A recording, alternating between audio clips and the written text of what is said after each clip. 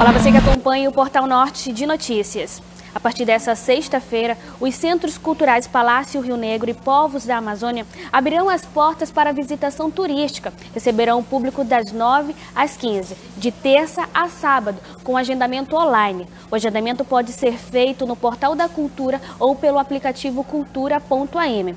E olha só, para agendar uma visita, basta escolher o espaço, horário, informar o número do telefone e o CPF. Quer mais informações de como funciona o agendamento e saber os demais espaços quando irão retornar?